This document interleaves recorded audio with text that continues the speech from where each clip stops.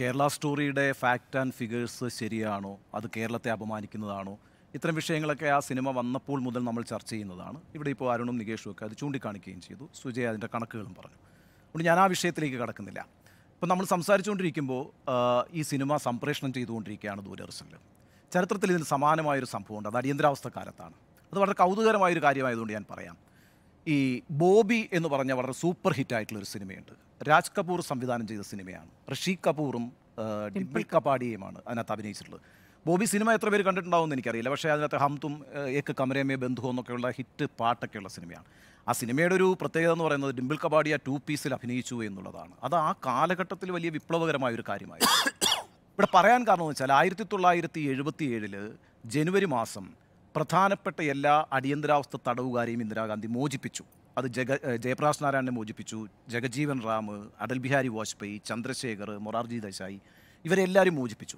അപ്പോൾ ഇവർക്ക് ഫെബ്രുവരി ആറാം തീയതി ആയിരത്തി തൊള്ളായിരത്തി എഴുപത്തി ഏഴ് ഫെബ്രുവരി ആറാം തീയതി രാംലീല മൈതാനിയിൽ വെച്ചൊരു വലിയ സ്വീകരണം നൽകാൻ ഈ ആന്റി എമർജൻസി ഗ്രൂപ്പ് തീരുമാനിച്ചു. വലിയ സ്വീകരണ യോഗം ആണ് വിളിച്ചത്. അപ്പോൾ രാജ്യത്തിന്റെ വിവിധ ഭാഗങ്ങളിൽ നിന്ന് ആളുകൾ എത്തിച്ചേരുന്ന ഒരു പരിപാടിയായിരിക്കും അത് എന്നാണ് കരുതപ്പെട്ടിരുന്നത്.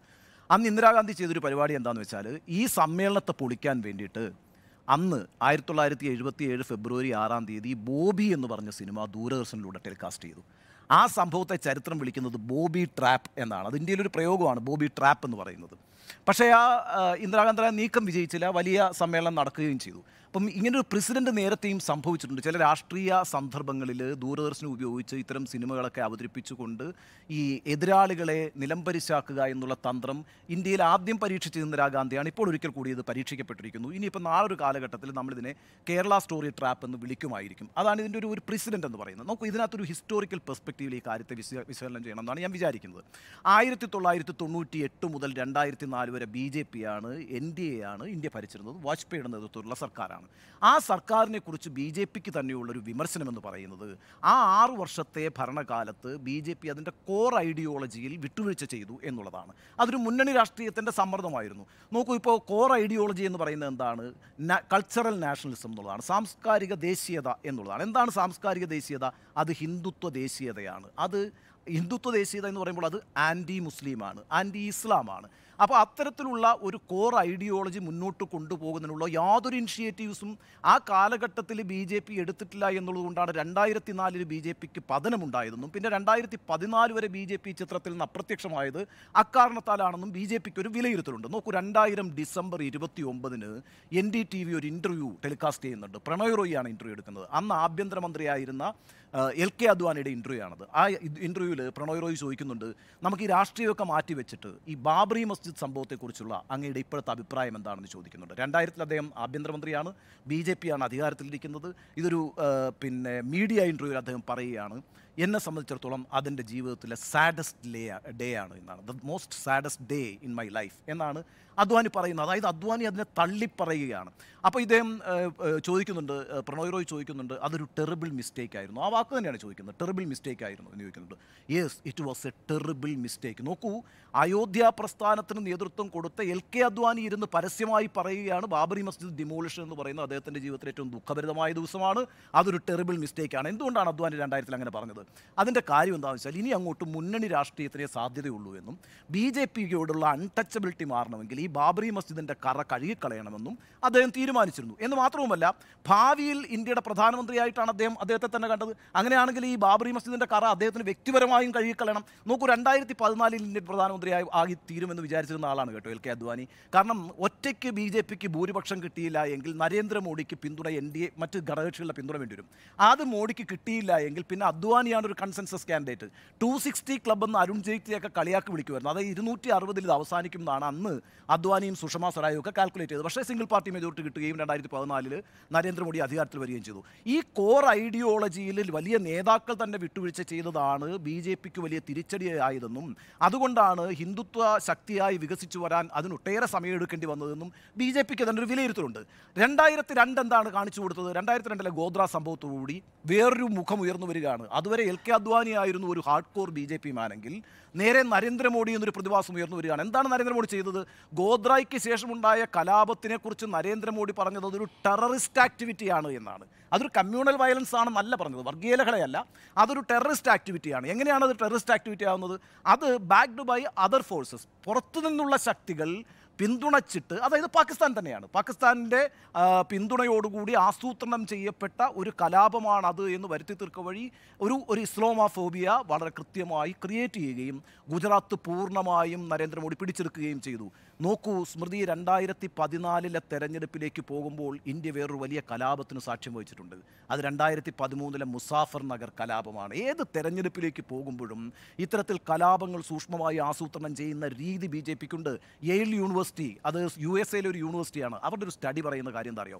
ആയിരത്തി തൊള്ളായിരത്തി അറുപത് മുതലുള്ള കണക്കെടുത്തുകൊണ്ട് അവർ പറയുന്നത് ഭാരതീയ ജനസംഘത്തിന്റെ കാലം പിന്നീട് ബി ജെ പിയുടെ കാലം മുതലുള്ള ഡാറ്റ പരിശോധിച്ചാൽ എല്ലാ തിരഞ്ഞെടുപ്പുകൾക്ക് മുമ്പും എവിടെയെങ്കിലുമൊക്കെ ഒരു കമ്മ്യൂണൽ റൈറ്റ് ഉണ്ടാക്കുകയും ആ കമ്മ്യൂണൽ റൈറ്റിന്റെ പശ്ചാത്തലത്തിൽ പൂജ്യം ദശാംശം എട്ട് ശതമാനം വീതം വോട്ട് ഉയർത്തിക്കൊണ്ടിരിക്കുകയും ചെയ്യുന്നു ഇത് ഡാറ്റ വെച്ചിട്ട് മൂന്ന് പ്രധാനപ്പെട്ട പൊളിറ്റിക്കൽ സയന്റിസ്റ്റുകൾ ഇന്ത്യൻ രാഷ്ട്രീയത്തെ പഠിച്ചുകൊണ്ട് പുറത്തിറക്കിയ സ്റ്റഡിയാണ്. ഏൽ യൂണിവേഴ്സിറ്റിയുടെ സ്റ്റഡിയാണ്. എക്കണോമിക് ടൈംസ് ആണ് അത് പുറത്തുവിട്ടത്. ആ സ്റ്റഡിയിലാണ് പറയുന്നത് ഓരോ കലാപങ്ങളിലൂടെ കൃത്യമായി വോട്ട് വർദ്ധിപ്പിക്കുന്നത് അങ്ങനെയാണ് B J P. B J പിയുടെ തന്ത്രം അതാണ്. ഞാൻ ഈ മുസാഫർ നഗർ പറയാം. രണ്ടായിരത്തി പതിമൂന്നിൽ മുസാഫർ നഗറിൽ അവസാനം രണ്ടായിരത്തി പതിമൂന്ന് അവസാനമാണ് അവിടുത്തെ ഒരു റയറ്റ് ഉണ്ടാകുന്നത് റയറ്റിന്റെ കാര്യം എന്താണെന്നറിയോ? ജാട്ട് സമുദായത്തിലുള്ള ഒരു പെൺകുട്ടിയെ മുസ്ലിം സമുദായത്തിലുള്ള ഒരു ആൺകുട്ടി കളിയാക്കി. ആ ഒരു വിഷയത്തെ എടുത്തു വെച്ചുകൊണ്ട് അവിടെ ഒരു വലിയ കലാപം പൊട്ടിപ്പുറപ്പെടുകയാണ്. സ്വതന്ത്ര ഇന്ത്യയുടെ ചരി ചരിത്രം എടുത്തു നോക്കിയാൽ ഏറ്റവും വലിയ വർഗീയ കലാപങ്ങളിൽ ഒന്നായിട്ടാണ് മുസാഫർ നഗർ കലാപം വിലയിരുത്തപ്പെടുന്നത്. അന്ന് അവിടെ പത്ത് എഴുപത് പേര് കൊല്ലപ്പെട്ടു. ബി ജെ പി നേതാക്കളാണ് കേട്ടോ അറസ്റ്റിലായതും ജയിലിലായതും. ആ കലാപം രണ്ടായിരത്തി പതിമൂന്നിൽ നടന്നപ്പോൾ രണ്ടായിരത്തി പതിനാലിലെ തെരഞ്ഞെടുപ്പിലെ റിസൾട്ട് എന്താണ്?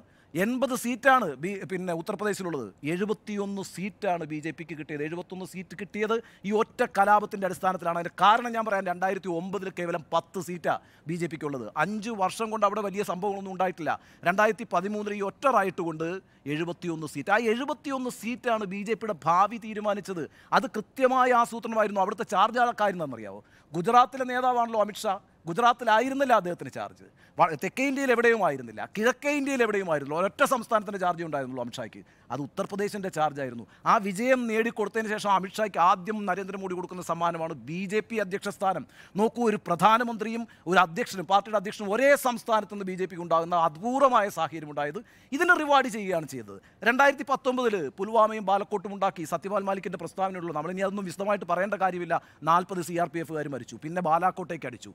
കൃത്യമായ ഇസ്ലാമോഫോബിയ ഉണ്ടാക്കി. അത് ഒരു ടെററിസം പുറത്തുനിന്ന് ഇങ്ങോട്ടേക്ക് വരുന്നുവെന്നും അതിനകത്ത് നരേന്ദ്രമോദി പറയുന്നൊരു കാര്യമുണ്ട്. ദി എനിമി ഈസ് വിതിൻ എന്നാണ്. അകത്താണ് ശത്രു എന്നാണ്. ആരാണ് ആ അകത്ത ശത്രു എന്ന് പറയുന്നത്? മുസ്ലിംസാണ്. ഇവിടെ ഇപ്പോൾ നോക്കിക്കോളൂ. ഈ രണ്ടായിരത്തി ഇരുപത്തിനാല് തെരഞ്ഞെടുപ്പിലേക്ക് അയോധ്യ രാമക്ഷേത്രമുണ്ട്. സി എ ഉണ്ട്. ഇതൊന്നും മാത്രം പോരാ. കൃത്യമായി ഇസ്ലാമോ ഫോബിയോ ഉണ്ടെങ്കിൽ മാത്രമേ ഈ വോട്ട് ബാങ്കിനെ സുരക്ഷിതമാക്കാൻ കഴിയൂ. എന്റെ കാര്യം എന്താണെന്നറിയോ സ്മൃതി? കഴിഞ്ഞ പത്തു വർഷത്തിനകത്ത് ഗാർഹിക ചിലവുകൾ രണ്ടിരട്ടിയായിരിക്കുന്നു എന്ന് പറഞ്ഞത് ആരാണ്? ഇന്ത്യയിലെ ഈ പറയുന്ന നാഷണൽ സാമ്പിൾ സർവേ നടത്തിയ പഠനത്തിലാണ് പറയുന്നത്. അതായത് സർക്കാരിന്റെ തന്നെ ഓർഗൻ നടത്തിയ പഠനത്തിൽ പറയുന്നു ഗാർഹിക ചിലവുകൾ ഇരട്ടി കണ്ടു വർദ്ധിച്ചിരിക്കുന്നു. ഇതൊരു കുടുംബത്തിൽ ഓരോ മനുഷ്യൻ അനുഭവിച്ചുകൊണ്ടിരിക്കുന്ന യാഥാർത്ഥ്യമാണ്. കഴിഞ്ഞ ദിവസം മാർച്ച് ഇരുപത്തിയേഴിനാണ് യു എന്നിന്റെ സംഘടനയായിട്ടുള്ള ഇന്റർനാഷണൽ ലേബർ ഓർഗനൈസേഷൻ ഇന്ത്യയിലെ തൊഴിലില്ലായ്മയെക്കുറിച്ച് ഒരു റിപ്പോർട്ട് പുറത്തുവിട്ടിട്ടുണ്ട്. അത് യു എൻ സംഘടനയാണ് ഈ ഐ എൽ ഒ എന്ന് പറയുന്നത്. അങ്ങേറ്റം പരിതാപകരമാണ് അൺഎംപ്ലോയ്മെന്റിന്റെ സ്ഥിതി ഇന്ത്യയിൽ എന്ന് പറയുന്നു. നമ്മൾക്ക് ജോലിയുള്ളവരാണെന്നേ നമ്മളത് അനുഭവിക്കുന്നില്ല. പക്ഷേ ഇന്ത്യയിലെ ഗ്രാമങ്ങളിലും നഗരങ്ങളിലും ഒക്കെ ഉള്ള അഭ്യസ്ത വിദ്യരായിട്ടുള്ള മനുഷ്യർ അത് അനുഭവിക്കുന്നുണ്ട്. അതിന്റെ ഒരു ഏറ്റവും നല്ല ഉദാഹരണമാണ് ഈ പാർലമെന്റിൽ നടന്ന ആ നാല് ചെറുപ്പക്കാരുടെ അറ്റാക്ക് എന്ന് പറയുന്നത്. കർഷകരുടെ സമരം നടന്നുകൊണ്ടിരിക്കുന്നു. ഒരു ദിവസം മുപ്പത് കർഷകർ വെച്ച് മരിച്ചുകൊണ്ടിരിക്കുന്നു. വിലക്കയറ്റം എന്ന് പറയുന്ന യാഥാർത്ഥ്യം നിൽക്കുന്നു. നിങ്ങൾ ഈ അഞ്ചാം സമ്പദ് വ്യവസ്ഥയായി എന്നൊക്കെ പറയുമ്പോൾ അന്നൊരു നെറേറ്റീവ് സൃഷ്ടിക്കുമ്പോൾ ഇവിടുത്തെ രാജ്യത്തെ ഈ ജനങ്ങൾ അനുഭവിക്കുന്ന പ്രശ്നങ്ങളുണ്ട്. ഇതിനെക്കുറിച്ച് ഭയമുണ്ട്. അപ്പോൾ വൈകാരികമായി തന്നെ വീണ്ടും ഈ പറയുന്ന ആളുകളെ ഹിന്ദുത്വ ശക്തിയെ ഉണർത്തിവിടുകയും ഒന്നിപ്പിച്ച് നിർത്തുകയും ചെയ്തില്ല. എങ്കിൽ ഈ വോട്ട് ബാങ്ക് സുരക്ഷിതമല്ല. തിരിച്ചടി ഉണ്ടാകുമെന്ന് നല്ല ബോധ്യമുള്ളതുകൊണ്ടാണ് ഈ പറയുന്ന കേരള സ്റ്റോറി എന്ന് പറയുന്ന സിനിമ ഇപ്പോൾ കാണിക്കുന്നത്. അത് നോക്കൂ ഇന്ത്യയിൽ ദൂരദർശനം എത്ര പേര് കണ്ടു കളയുന്നു ഒന്ന് ചോദിച്ചു കളയരുത്. കാരണം എന്താ അറിയോ? ഇന്ത്യയിലെ റേറ്റിംഗിൽ വെച്ചിട്ട് ഏറ്റവും കൂടുതൽ ആളുകൾ കാണുന്ന ചാനൽ ഏതാണെന്നറിയാവോ? ദൂരദർശനാണ്. ദൂരദർശനാണ് റേറ്റിംഗിൽ നമ്പർ വൺ ഇന്ത്യയിലെ ഗ്രാമങ്ങളിൽ ഇപ്പോഴും ആളുകൾ കണ്ടുകൊണ്ടിരിക്കുന്നത് ദൂരദർശനാണ്. ആ ദൂരദർശനിലൂടെയാണ് ഇത് സംപ്രേഷണം ചെയ്യുന്നത്. അത് കേരളമല്ല ലക്ഷ്യം അത് തമിഴ്നാടല്ല ലക്ഷ്യം അത് ആന്ധ്രാപ്രദേശോ കർണാടകയോ അല്ല ലക്ഷ്യം. അത് ഉത്തരേന്ത്യയിലെ ഓരോ ഗ്രാമങ്ങളുമാണ്. ഇന്ന് ഈ ഗ്രാമങ്ങളിലെ ജനങ്ങളെയൊക്കെ ഉണ്ടല്ലോ ഈ പറയുന്ന ഈ സൈന്യത്തെ പരിശീലിപ്പിക്കുന്നത് പോലെ ചിട്ടയായി വീട്ടിലിരുത്തി ഇത് കാണിക്കും. ഇത് കാണിക്കും. അതിനുള്ള മെക്കാനിസം ആർ എസ് എസിനുണ്ടെന്നേ ആ മെക്കാനിസം ഉപയോഗിച്ചുകൊണ്ട് അവരെല്ലാ മനുഷ്യരെയും ഈ സിനിമ കാണിക്കും. അങ്ങനെ ഒരു ഇസ്ലാമാ ഫോബിയ ഉണ്ടാക്കും. ആ ഫോബിയയിലൂടെ ഒരു ഹിന്ദുത്വ വികാരം ഉണ്ടാകും. ആ വികാരത്തെ വോട്ടാക്കി മാറ്റുക എന്ന അവസാന തന്ത്രമാണ് എടുത്തിരിക്കുന്നത്. ഞാൻ അവസാന തന്ത്രം എന്ന് പറയുന്നത് ഇനിയും എന്തൊക്കെയാണ് എടുത്ത് പയറ്റാൻ പോകുന്നതെന്ന് എനിക്കറിയില്ല. പക്ഷേ ഈ തെരഞ്ഞെടുപ്പിനെ ലക്ഷ്യം വെച്ച് കൊണ്ട് തന്നെയാണ് ഈ പറയുന്ന സിനിമ ഇപ്പോൾ ടെലികാസ്റ്റ് ചെയ്തിരിക്കുന്ന അതിന്റെ ലക്ഷ്യം നോക്കൂ മുസ്ലിങ്ങൾ അപകടകാരികളാണ്. അവർ നമ്മുടെ സാംസ്കാരിക ദേശീയതയ്ക്കെതിരാണ്. അവർ നമ്മുടെ സംസ്കാരത്തിനെതിരാണ്. അവർ ഹിന്ദുക്കൾക്കെതിരാണ് അവർ അപകടകാരികളാണ്. അവർ തീവ്രവാദികളാണ്. അതുകൊണ്ട് നമ്മൾ ഒന്നിച്ചു നിൽക്കണം. അങ്ങനെ ഒന്നിച്ചു നിന്നൊരു വോട്ട് ബാങ്കായി വീണ്ടും ഞങ്ങളെ അധികാരത്തിൽ കൊണ്ടുവന്നാൽ ഞങ്ങൾ ഹിന്ദുക്കൾക്ക് വേണ്ടി ചെയ്യാൻ പോകുന്ന ഓരോരോ കാര്യങ്ങൾ ഇപ്പോൾ തന്നെ പറഞ്ഞുകൊണ്ടിരിക്കുകയാണല്ലോ. അതെല്ലാം നടപ്പാക്കി ഇവിടെ നിന്ന് ഇവരെ ഉച്ചാടനം ചെയ്യും. ഇന്ന് നമ്മൾ സംസാരിക്കുന്ന സമയത്ത് എൻ സി ആർ ടി പുസ്തകത്തിൽ നിന്ന് പല കാര്യങ്ങളും. കഴിഞ്ഞ ആയിരം വർഷമായിട്ട് മുസ്ലിങ്ങൾ ഇവിടെ വന്നിട്ട് ഇന്ത്യയുടെ സംസ്കാരത്തെ തകർത്തു എന്നുള്ളത് കൊണ്ടാണ് മുഗളന്മാരുടെ പിന്നെ പാഠപുസ്തകങ്ങളിൽ നിന്നൊക്കെ അവരെയൊക്കെ എടുത്ത് മാറ്റുന്നത്. ആ രീതിയിൽ ഈ പറയുന്ന ഇസ്ലാമോഫോബിയ ക്രിയേറ്റ് ചെയ്തുകൊണ്ടല്ലാതെ പുതിയൊരു ഹിന്ദുത്വ വികാരം ഉണർത്താൻ അവരുടെ കയ്യിൽ വേറൊന്നുമില്ല. ജയിച്ചു വരാൻ ഒരു ആയുധവും കയ്യിലില്ല. അതുകൊണ്ട് അവസാനത്തെ കളിയാണ് ഈ കളിക്കുന്നത്. അതാണ് ഇതിന്റെ രാഷ്ട്രീയ ലക്ഷ്യം. അതുകൊണ്ട് ഇത് തിരഞ്ഞെടുപ്പ് ലക്ഷ്യത്തോടുകൂടി തന്നെ ചെയ്തിട്ടുള്ള ഒരു ടെലികാസ്റ്റ് ആണ്. ശരി.